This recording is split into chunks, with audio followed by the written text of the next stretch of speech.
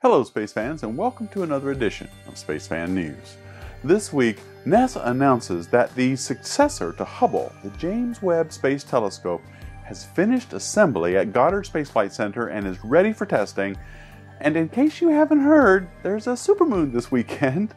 And finally, some small changes coming to Space Fan News.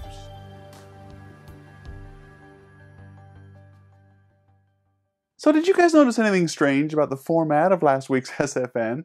I had to cut out the intro and I only had two stories when usually I try to have three. Well, after I had recorded last week's episode, which included the story I'm about to show you now on JWST, I went to NASA's website to get some images and screenshots outlining the story but all I found were press releases talking about the completion and testing of the primary mirror segments. There was nothing really on the completion of the assembly of the entire telescope. And now, and the way that I had read the announcements that were coming out last week, they were talking about everything being done, not just the primary mirror segments. So I began to wonder, WTF? Since most of my sources for that story were from outside NASA, and I always like to try and check with NASA before I post anything, I began to question whether the spacecraft assembly was actually complete or were we just talking about the primary segments here. Now, the main source that most of these websites used was a press conference that was held by NASA at Goddard last week, and I'm not privy to those since I'm just some guy with a space news show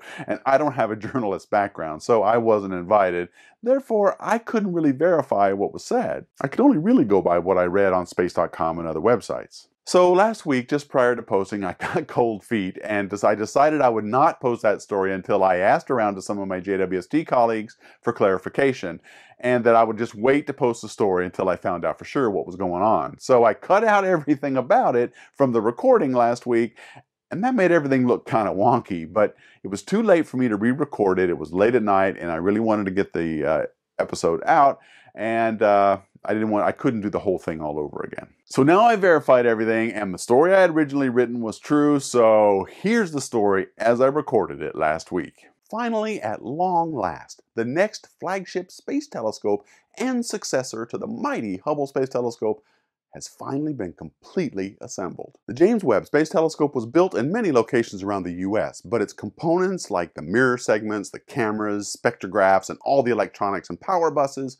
were assembled in a massive clean room at the Goddard Space Flight Center. And this week, at a big event held at Goddard, they announced that the assembly is complete. Now what's next is they're going to ship it to the Johnson Space Flight Center where they will put it through most of its testing. There's a giant vacuum chamber there that was left over from the Apollo mission in the 60s and they refurbished it to use it to test JWST. Now they need to get this part right because there is no going out there to fix it once it's deployed. So the vacuum chamber will help them put the telescope through its paces in an environment as close to actual space as they can get. They're going to shake it, open it, close it, shake it some more, put loudspeakers against it to simulate a loud rocket launch, and most importantly, they're going to focus it. Now tragically, this is something NASA did not do with Hubble before it launched in 1990. Now, some of you may remember that the first Hubble repair mission was sent to fix an aberration in the primary mirror that wasn't built to specifications. Had they focused the mirror on the ground prior to launch, they would have found that out. So, because JWST is going to the L2 point a million and a half kilometers away, there's no chance of fixing it if something goes wrong. So the next phase of the JWST construction plan is to test every possible thing they can before launching it. It's going to be an exciting year for JWST. Launch is coming up October 2018, and I'll make sure to keep you posted on all the developments as they happen in 2017. So now I'm just going to reiterate, I am so glad they're going to take the time to focus that thing. I can't believe no one did that back for Hubble back when it was being built in the 80s. It just seemed like some basic stuff you do before you launch a telescope. So I'm glad they're doing that. Okay, I'm not going to spend a lot of time on this next story because quite frankly, I'm getting sick of hearing about it, but you may have heard that there is a supermoon this weekend. Well, what's a supermoon? All it is, is it relates to the fact that the moon's orbit around the Earth is not circular. This means there are times when it's closer to Earth than at other times. And sometimes, like this year, it gets really close, which will be the closest it's gotten to Earth since 1948. So instead of rehashing what has already been said by an expert, here's Dr. Noah Petro from the Lunar Reconnaissance Orbiter mission explaining what a supermoon is. He did this on Facebook Live earlier today. So a supermoon, just for quick definition to get everybody on board, is the supermoon is the full moon, the one full moon of the year that occurs closest to the Earth. Now, so that's going to be happening Monday morning. Uh, uh, as we know, the orbit of the moon around the Earth is not a perfect circle. What's special about what's going to happen Monday is the closest full moon, as you said, since 1948. These supermoons appear about 14% larger in the night sky, but also about 30% brighter. So if you're trained at looking at the moon, you'll notice a difference. Now, if you're interested, you should watch the whole thing on Facebook. The link is in the description box below, and the guys at Goddard did a really great job on this feed. Now, a lot of people are asking, well, when is the best time to see the thing? Well, whenever you can see a full moon is a good time is a good time to see it. So you'll be able to go outside this weekend, Saturday, Sunday, Monday. You'll have a very close to a full moon. The actual closeness happens early Sunday morning uh, on the Eastern time zone, but you know wherever you are, get up and look out and see the moon. It'll be real. It'll be 14% bigger than usual. And I, the guy Noah uh, Dr. Petro was advising that people get out their telescopes and look at it. To be quite honest, if you've ever looked at a full moon through a telescope, I don't think that's a great idea. They get really, really bright. In fact, whenever I've looked at a full moon through a telescope, I have had to like look around and blink my eyes for a while because I was basically blind. It's so bright it's better to just look at it through with your naked eyes just look up like we do every week. Just keep looking up and look at the full moon. That's the best way to see it.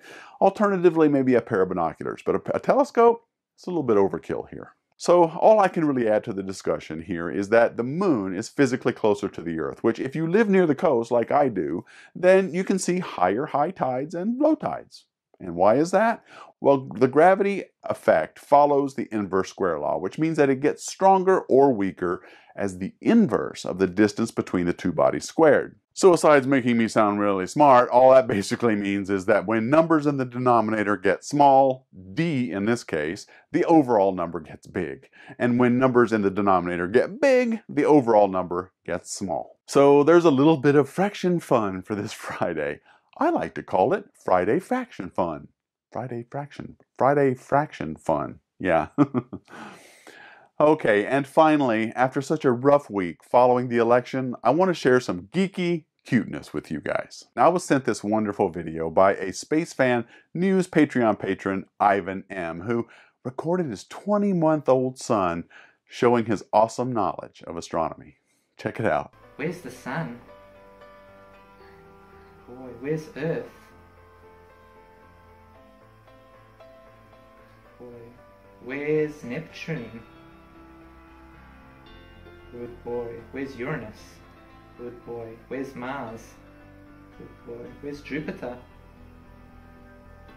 Good boy. that kid is only 20 months old. That is so great. And I gotta say that after the week we've all had following this election here in the United States, I personally needed to see this video because it renewed my hope. My hope in the human race and in our future. If there are kids out there like this, learning science and doing it well, then there will be citizens occupying our planet who are thoughtful and able to think critically. And I just really needed to know that this week. so please watch the whole video. It is really impressive. Uh, the link is in the description box below. Thank you, Ivan M., for sharing it with me. It was a real refreshing thing to see. okay, before I go, I wanted to let you guys know that this episode will be the last one that I post on the Space Fan News YouTube channel. The show isn't going anywhere. Everything will stay the same, but I realized it was a mistake to try to spin off SFN onto its own channel because it split my viewership. And some people were also complaining about having to subscribe to two channels and they were seeing duplicate notifications of the same video. I'm leaving everything where it is. I'm not deleting the old channel. All of the posts are going to stay there. All the links will still work. Uh, I'm going to leave it where it is. But if you want to catch SFN every week, new episodes, they will only be posted on the Deep Astronomy channel, not the Space Fan News channel, starting next Friday, November 18th. Now, initially I did that because I thought, well, people that only care about SFN would be able to subscribe to a channel and only get content they wanted instead of all the other stuff. But I found out you can do that by just subscribing to the Space Fan News playlist, and you'll get notified whenever new videos are added to that playlist. So you won't get spammed from other videos or the Hangouts or everything else that's happening on Deep Astronomy. If all you care about Space Fan News, you'll get notified by that uh, subscription to the News Space Fan News playlist. And the link to the playlist is in the description box, and you can also see it's very prominently displayed on the Deep Astronomy uh, homepage as well. Okay, well, that is it for this week, Space fans. Special thanks to the Planets Foundation for sponsoring SFN this month. Thanks to all SFN Patreon patrons who keep SFN on the air. Couldn't do it without you. Thank all of you for watching, and as always, keep looking up.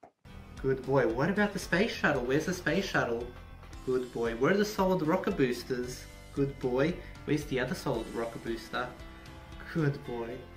What about the external fuel tank? Such a good boy.